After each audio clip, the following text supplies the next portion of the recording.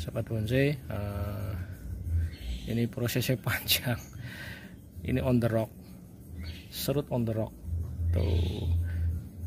Serut on the rock. Uh, tuh. Ini saya dapat batu ini senang banget karena luar biasa.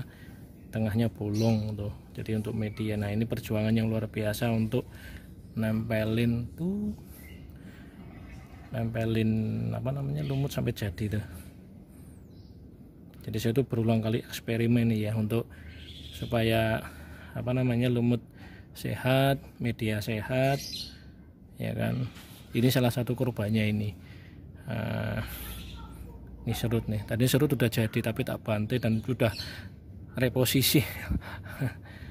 Nih. No tuh. Nah ini bekas luka nih. Tuh. Ini tadinya eh, formal sih ke atas ya kan. Udah bentuk mahkota segala macam nah sebelum saya tuh dapat metode yang kayak gitu ya dengan air tuh ya. Ini mati ranting dahan segala macam sampai ke atas sehingga saya eh, potong menyisakan tuh. Ya cakep banget di sini. Tapi itu tadi dulunya ini tak sirami tok ya. Tak sirami ternyata nggak maksimal. Tapi setelah dengan metode tuh nah nah begini nih. Nah jadi kerendam semua tuh.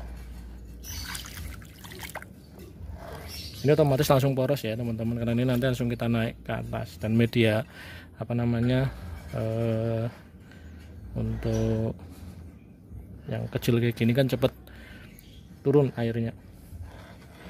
Jadi nggak khawatir apa namanya busuk akar enggak tuh.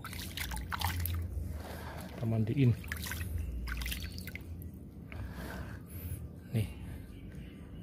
Dulu tak semprot tak siram tak kira basah atasnya ternyata ya artinya dia tak kira udah sampai dalam ternyata enggak jadi ini yang tadi sudah jadi nah, kita telat ngontrol.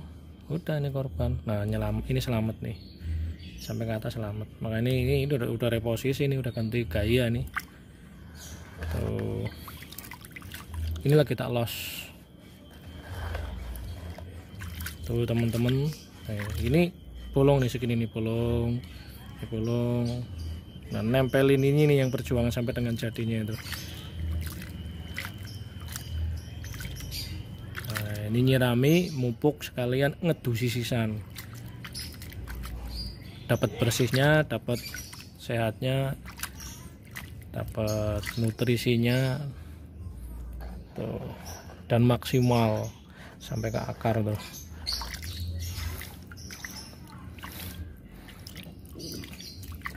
Tuh teman-teman.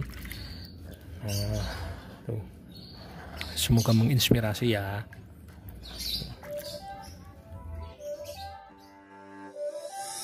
here. So let's